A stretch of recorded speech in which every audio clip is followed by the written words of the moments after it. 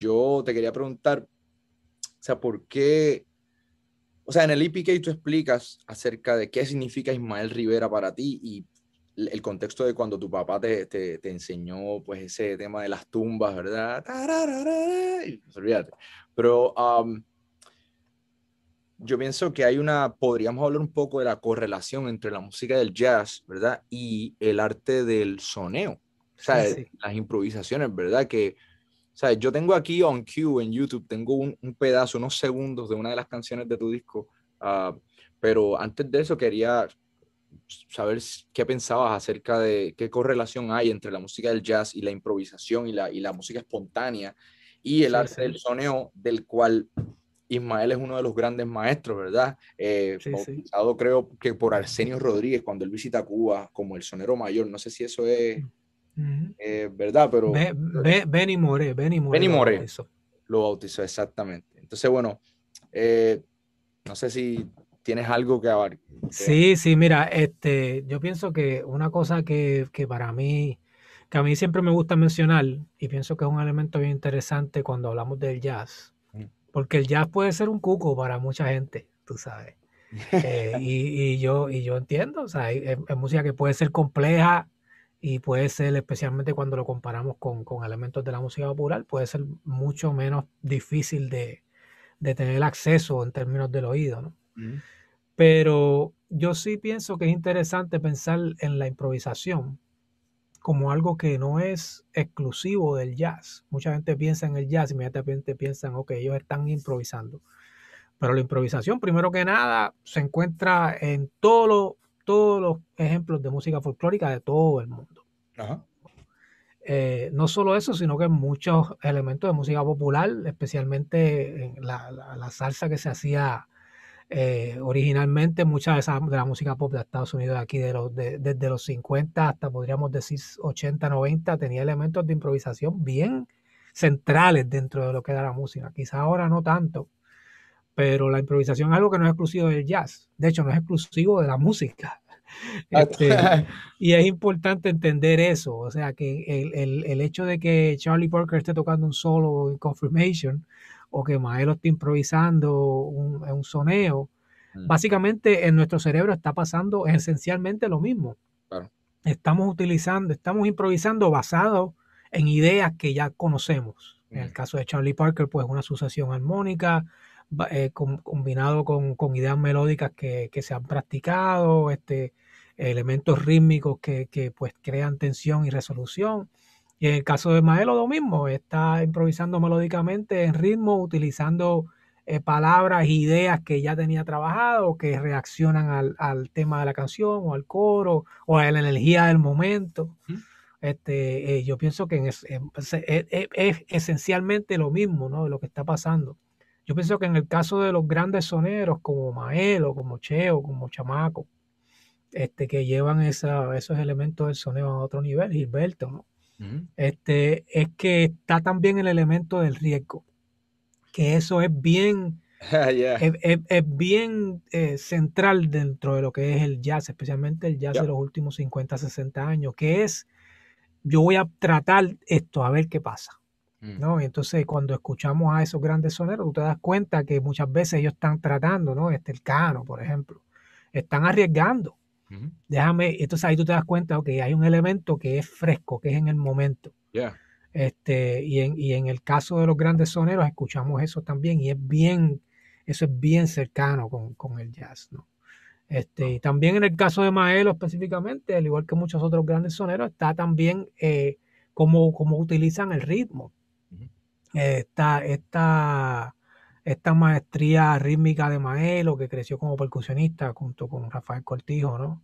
Y cómo él incorpora elementos rítmicos que podemos también hablar de, bueno, de grandes bateristas o inclusive de grandes músicos como Sonny Rollins o el mismo Charlie Parker, cómo utilizan a veces, bueno, no voy a tocar muchas notas, voy a tocar una nota o varias notas y con eso voy a crear un, ritmo a la casi percusivo que es lo que hacía Maelo y muchos de los grandes maestros. O sea que hay mucho, hay mucho de encuentro, tú sabes. Claro. Hey, ¿te gusta el contenido que estás viendo? ¿Te gustaría mantenerte al día con todo lo que está pasando? pues te invito a que te suscribas a mi canal. Simplemente oprime la campanita para recibir notificaciones cada vez que publiquemos nuevo contenido. Ahora, de vuelta a la conversación. Y bueno, yo pienso que es un perfecto segue lo que acabas de decir. Quiero, quiero compartir unos segundos eh, de, primero que nada, la introducción, que fue lo, que, lo primero que me cautivó de este disco, es la introducción, porque yo, yo dije, este álbum yo no lo voy a, yo no me voy a direccionar hacia este álbum yendo por canciones o los grandes éxitos de Maelo, sino de uh de principio a fin. Y lo que me cautiva es la introducción, que no sé si, o sea, obviamente yo he visto samplings y, y, de, y de, parte de jazzistas que, um, que han hecho esto anteriormente y músicos de Brasil, etcétera, que de hecho vi un poco de influencia de Hermeto Pascual, no sé si, bueno, en tu vida él ha tenido alguna influencia como compositor, pero sí vi que utilizar el, el, el sample de, Obviamente yo he escuchado a Hermeto y he escuchado a músicos de jazz utilizar samples de hasta este, discursos políticos o, claro, claro. Eh, samples de alguien importante hablando y ellos poniéndole notas y acompañamiento armónico, pero pienso que tomaste este approach, que de hecho en esta canción no se escucha tu saxofón, sino que es simplemente este approach eh, que me, me, acordó mucho a Hermeto porque introduces hasta elementos percusivos de acordes y instrumentos melódicos encima de lo que Maelo ya está haciendo a capela. Entonces, No, sé si, no sé si esto tiene que ver algo con, con, la influencia de Hermeto o de algún otro músico que te haya influenciado a hacer este tipo de samples. ¿De dónde vino la idea de hacer un sample de Maelo? Mira, este... la capela de él.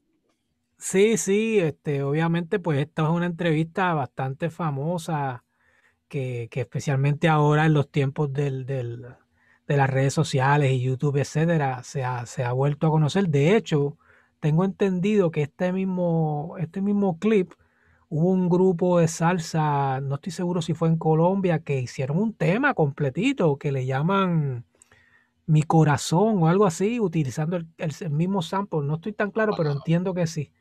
Pero eso lo puedes buscar después. pero el punto es que yo me acuerdo, yo me acuerdo escuchar esta entrevista, eh, eh, lo mismo en YouTube, este, y, y mano, y, y, me llegó inmediatamente porque yo decía, wow, ¿cómo el tipo hmm. cantando solo eh, puede crear esa energía de todos los sentidos, melódico, tú escuchas la armonía, él rellenando con el ritmo, haciendo la clave como siempre. Entonces me llegó mucho, ¿no? Después también él canta este, otra, otro, un bolero, creo que mi, mi, Libertad estuvo, uno de esos boleros famosos. Eh, y después en contexto me pongo a investigar sobre la entrevista y alguien me menciona, mira, tú sabes, eso fue una entrevista que él hizo saliendo de la cárcel eh, cuando él, él, hizo este disco con, con Cortijo, Bienvenido Welcome, creo que se llama el disco. ¿Tienes, la, el nombre de la entrevista? mira, la entrevista te puedo decir, fue con Rafi Torres, ah. eh, un, un, locutor súper reconocido de Puerto Rico, que era, bueno, eh, Rubén te puede hablar de él y todo el mundo los salseros, que era el tipo que básicamente él se encargaba de darle promoción a, los, a, estos músicos cuando iban a Puerto Rico. Entonces él lo lleva a su programa, que era el programa en ese momento, ¿no? De, de música, eh, para dar una, una, primicia de lo que iban a escuchar ahora cuando Maelo pues vuelve en libertad a cantar y tal, ¿no? Este, y, y, inmediatamente dije, mano, yo eh, tengo que hacer algo con esto. Lo que hice fue que transcribí la melodía sin saber todavía lo que era. Mm. Transcribí la melodía, empecé a armonizarla, en ese momento yo estaba experimentando un poquito con Ableton Live, un programa de, de, esto, de, un programa de estos para añadir sonidos y tal. Y, y, lo hice así, como que más o menos le fui añadiendo layers y le fui añadiendo capas y cosas. Y cuando fuimos a hacer el disco, que teníamos todos los, temas y tal, yo dije, contra mano, yo me gustaría incluir la voz de Maelo en el disco. O sea, me gustaría tener algo. Y, y era tan esto me pareció tan único porque era él solo cantando, ¿no? Era como él solo. Yo dije, contra, pues lo podemos presentar desde esta, perspectiva, con otra armonización, otras cosas, crearle un loop al final, eso, ¿no? Y después fue que me metí a, eh, me contacté con Rafi, que todavía está, y hablamos de lo que les de entrevistas y, tú sabes, eh, de lo que había pasado, y me habló de que ese tema es un tema brasileño. es un tema brasileño que se llama Tintón, que lo escribió, ahora mismo se me escapa el compositor brasileño, que, que entonces Tite Cure le hizo una letra para que lo grabara Maelo con Cortijo. Y la versión original de Maelo con Cortijo es totalmente brasileña. O sea, es básicamente una samba que no tiene nada de salsa, es básicamente brasileña, donde él le toca, donde él graba esta, eh, canta esta letra traducida del portugués por Tite, traducida y rehecha, ¿no? Mm. Este, pero bien interesante, ¿no? Como llegué ahí por el sonido y eventualmente cuando me fui metiendo dije, wow, pero es que esto es esto. Históricamente me conecté con el tema. Pero esencialmente, eh, y es curioso que mencioné lo del método, ¿no? Porque se conecta con Brasil y todo eso. Pero esencialmente, mira, yo quería tener la voz de Maelo ahí presente como que para para bendecir el, proyecto, Para, abrir, para abrir los caminos, como dicen. Entonces, pues, esa fue la idea. Me hace, tanto, me hace tanto sentido, gracias por compartir esa historia, me hace sentido de que la conexión entre Brasil y Tite, uh, porque Tite Curet era una persona que, obviamente muchas personas lo conocen como un compositor de salsa, pero era periodista, era escritor y era un súper fanático de la música brasileña. Y de hecho, Rubén uh, Blades y yo estábamos en una conversación en la cual estábamos hablando de eso, acerca de, y la influencia que tenía la música brasileña, especialmente desde la perspectiva armónica en las composiciones de Tite. Por ejemplo, Franqueza Cruel, ¿verdad? Que el, Rubén hace alusión al, factor de que la influencia brasileña se ve grandemente en la música de Tite, en esa canción específicamente, porque, por ejemplo, el, el eh, si acaso, en vez de ir hoy ya no te importa nada, ¿verdad? Luego, si acaso hoy ya no te importa nada. O sea que sí, sí, cosas son cosas que vienen desde el textbook de composición brasileña. Claro, claro. Viene de ese, de ese mundo. Entonces me hace mucho sentido la conexión en, eh, desde la perspectiva de compositor de Tite, haciendo eso, o sea, catering it to Ismael, y la conexión que ahora tú haces o sea, todo, todo viene, eh, me, hace sentido. La, entonces, tú pudiste, eh, eh, corrígeme si tú hiciste la conexión con Rafi Torres. Claro, claro. Bueno, ya cuando ya teníamos el tema que yo le había hecho, hicimos la conexión con Rafi, obviamente, porque la entrevista es de él, le pertenece a él. Esto no está en un disco.